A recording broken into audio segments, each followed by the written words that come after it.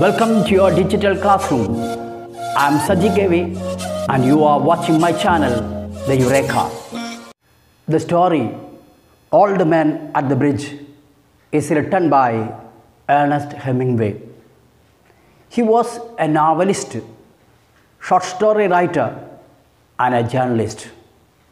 This story, Old Man at the Bridge, is based on a real incident that happened on an Easter Sunday by the side of Pontoon Bridge in 1938.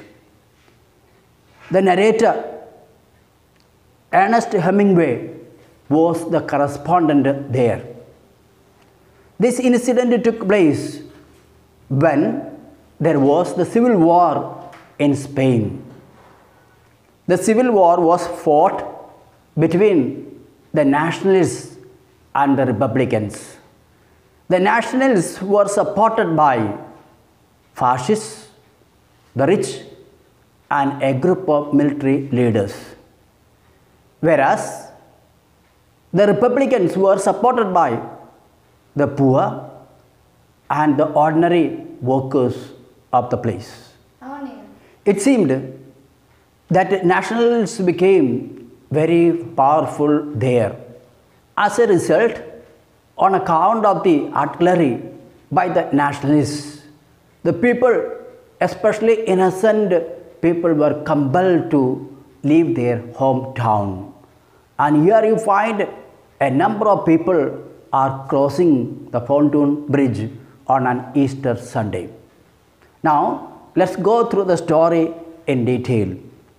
Old man with steel rimmed spectacles and very dusty clothes sat by the side of the road.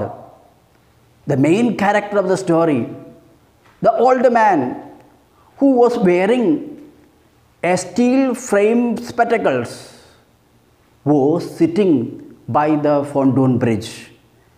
He was wearing dusty clothes. There was a Pontoon Bridge across the river and carts and trucks and men and women and children were crossing it. There was the Pontoon Bridge. Pontoon Bridge means a bridge made of hollow container.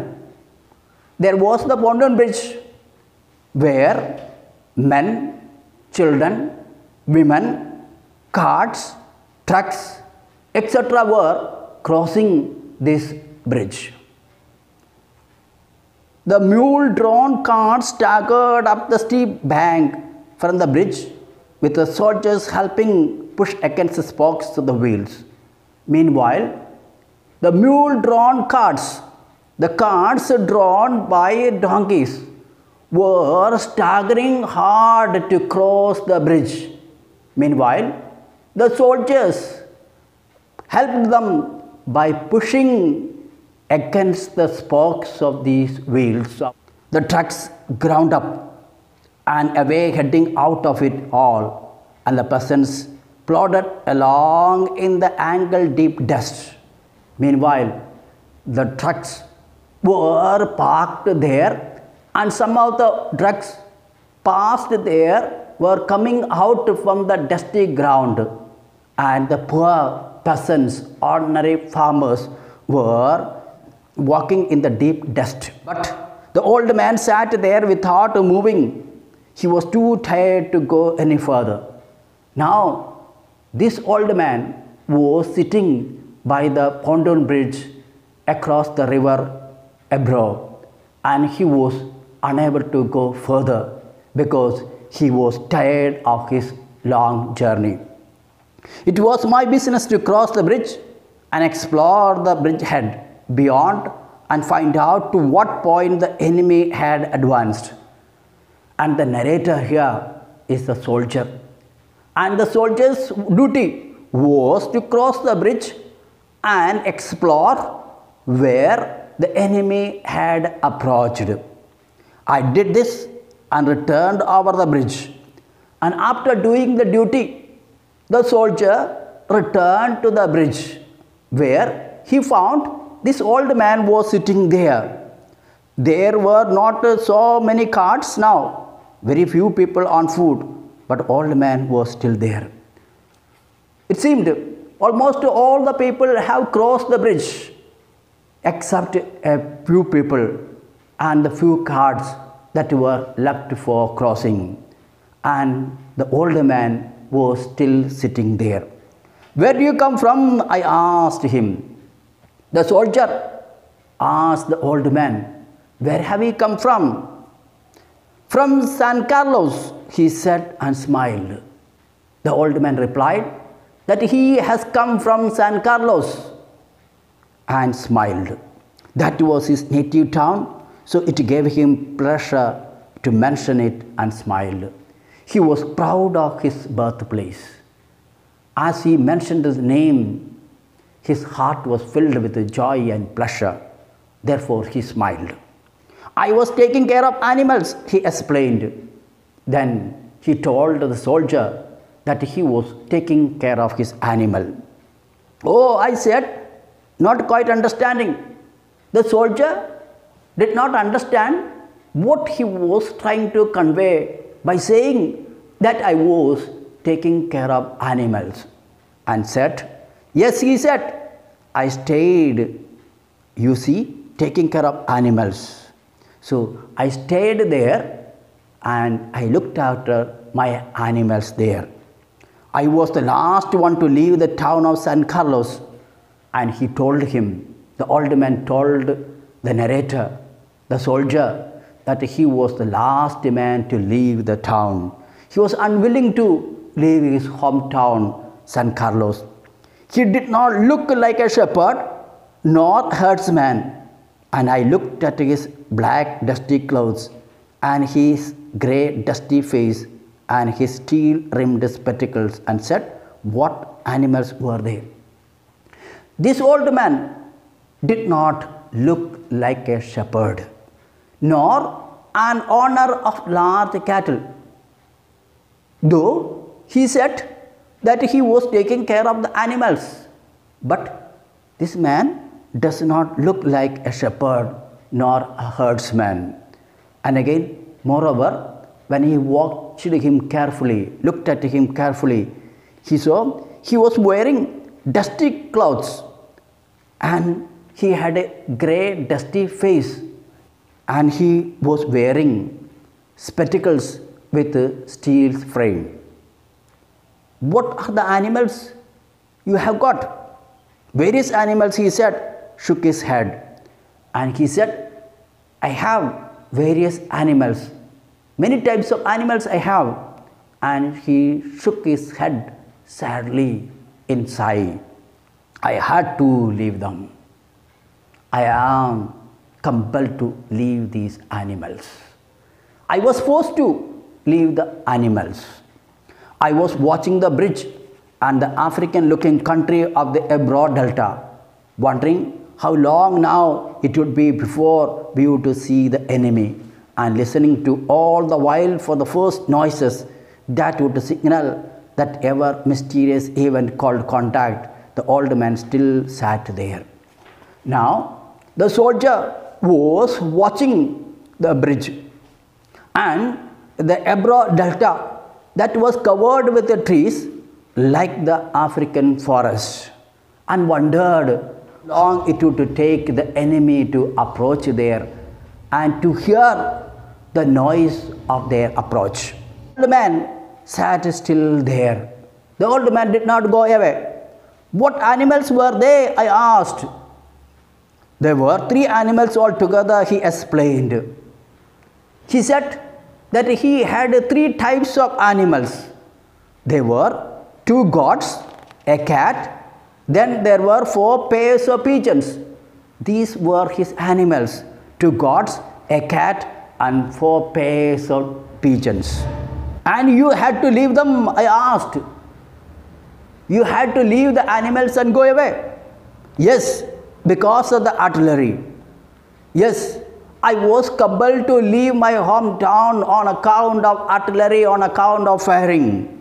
The captain told me to go because of the artillery. The captain ordered me to go away from there. You have no family? I asked, watching the far end of the bridge where few last carts were hurrying down the slope of the bank. Now I asked him whether he had any members of the family. And meanwhile, he watched the bridge at the end. All the cards have closed. He said he had only animals. He did not have any family member at home. I started. The narrator was surprised. The cat, of course, will be all right. He said, the cat will take care of itself. Cat is a symbol of independence. A cat can look out for itself, but I cannot think what will become of others. Cat will take care of itself. And again, I cannot think about other animals, goat and the pigeons. What will happen to them? I am not sure about it.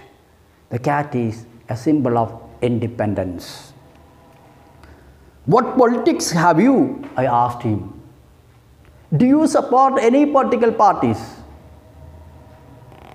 I am without politics, he said. He said he does not support any other political parties. He said that he does not support any other political parties. He does not support the Republicans nor the nationalists. He is without any politics. I am 76 years old. I have come 12 kilometers now. I think now I can go no further. I am 76 years old and I have traveled 12 kilometers and I cannot go any further. This is not a good place to stop, I said. This is not a place for you to remain here. It is dangerous place. The enemy is approaching. If you can make it, there are trucks up the road where it forks for Tortosa. If you can cross this bridge, you find trucks lying where the road divides for Tortosa. I will wait a while, he said, and then I will go. The old man told the soldier that he would wait for some time, then he would cross. Where do the trucks go? Where do these vehicles, trucks go? Towards Barcelona, I told him. The soldier told him that the trucks were going towards Barcelona. I know no one in that direction, he said, but thank you very much.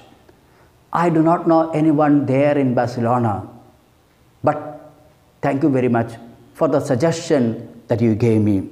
Thank you very much once again. He looked at me very blankly and tiredly. Then he said, having to share his worry with someone, the cat will be all right, I am sure.